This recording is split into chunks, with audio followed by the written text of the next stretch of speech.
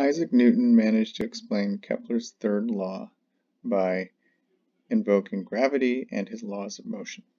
Kepler's third law stated that for two objects that were orbiting some kind of central object, such as planets orbiting the sun, if you compared their semi-major axes and their periods of orbit,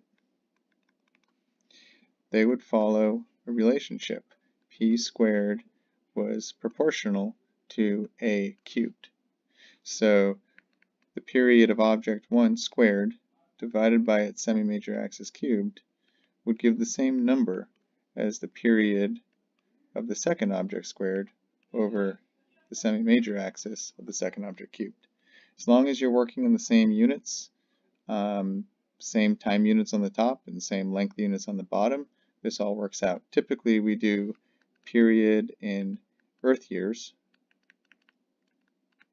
and we do semi-major axis in AU.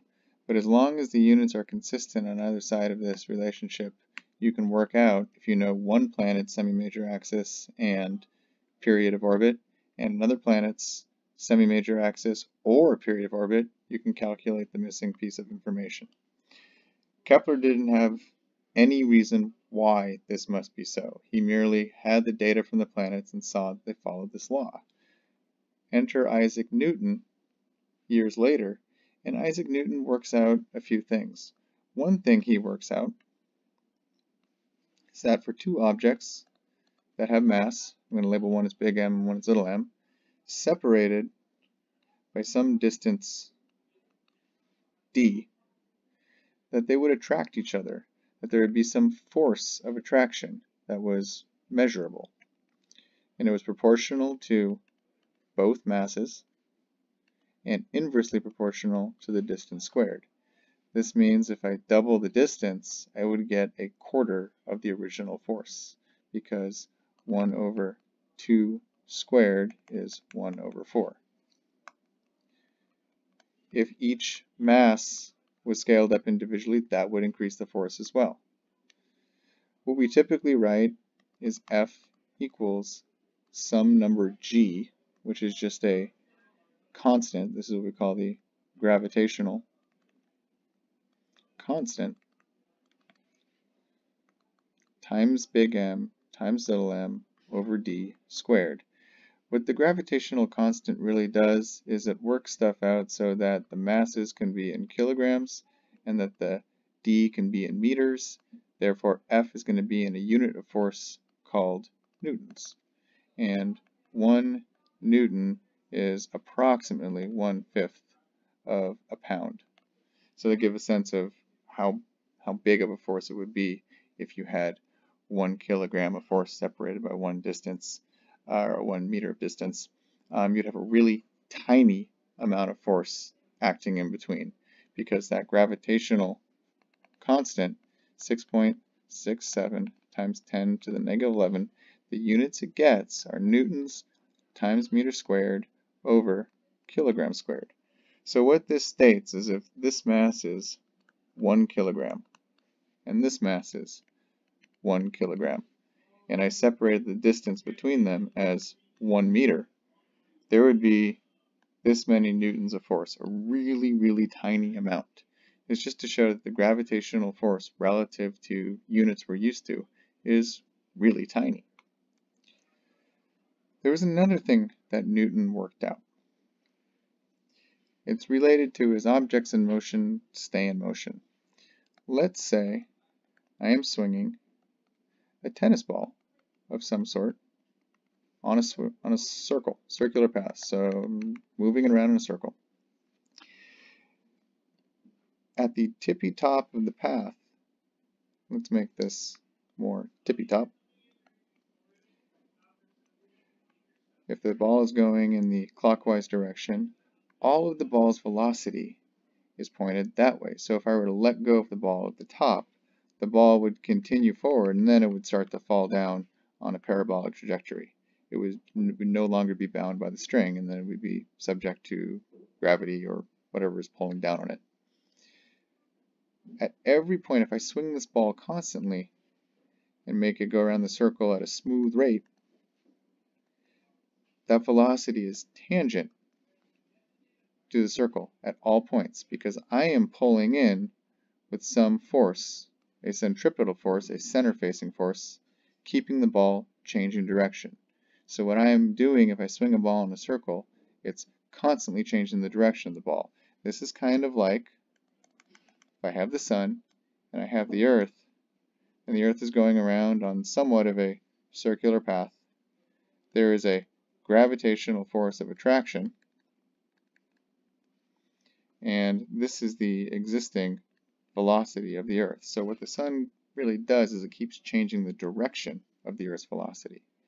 And there's a relationship that Newton worked out, and you can look up some other video that explains a bit more about this, but that that center-facing force, we call F centripetal, to keep things moving on a smooth circular track, if I have a circle of some radius r, and I have a certain amount of tug that I can give, there is a speed at which the ball is going to move around. We call it v squared over r.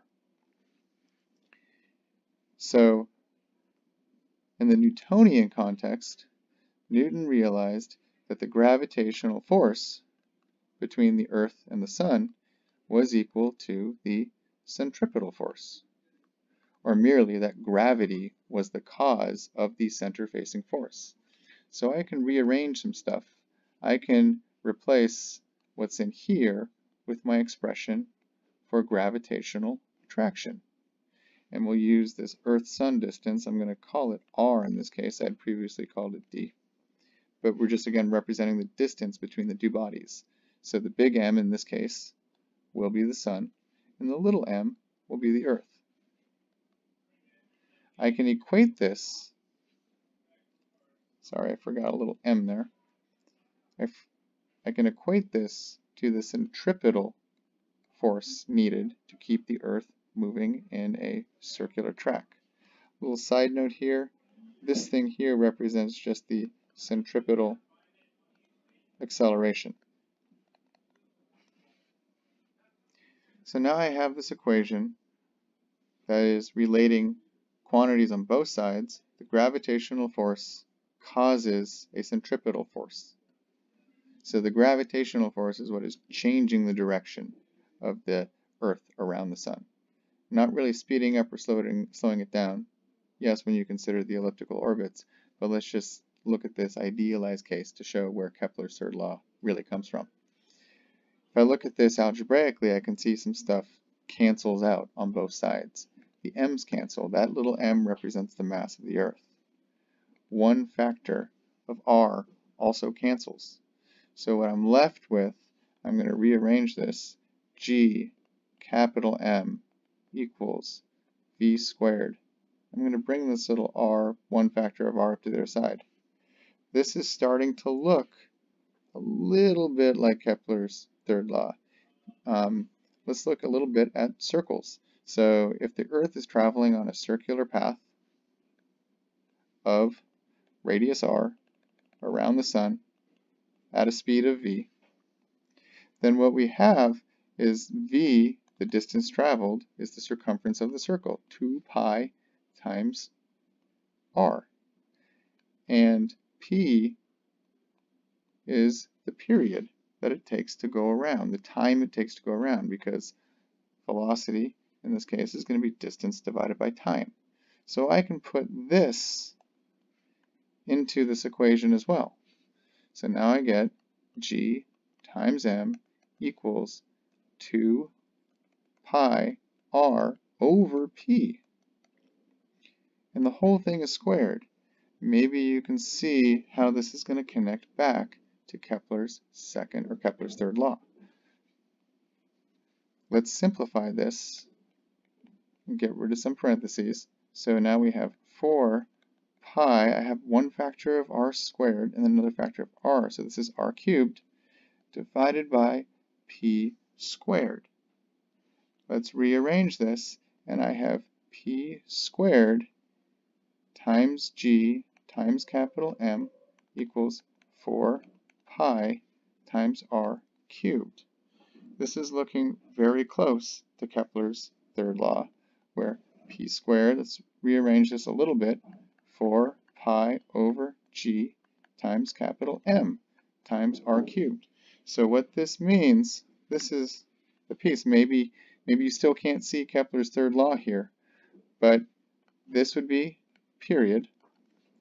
This r we can interpret as the semi-major axis. This is constant. This is a gravitational constant. It doesn't change. Doesn't matter what the period is or the semi-major axis is, that g will stay the same. Pi is also constant. So this leaves m. m is the mass of the sun. And for planets, when you're comparing different planets that are going around the same sun, the mass is still the same. So what we have is that p squared is proportional to r cubed. But this gives us something even more general. This means if I know the mass of my central body, my bigger thing, capital M, and I have a littler mass, and it doesn't even matter what the mass is, I can calculate, based on its distance, and figure out what its period of orbit needs to be. Again, from this relationship based on what we've derived from Newton's universal law of gravitation and a little bit of his rules of motion, his centripetal force and acceleration. So this explains where Kepler's third law comes from. Kepler had the observational data to notice that this rule held, and Newton was able to explain where the rule actually came from.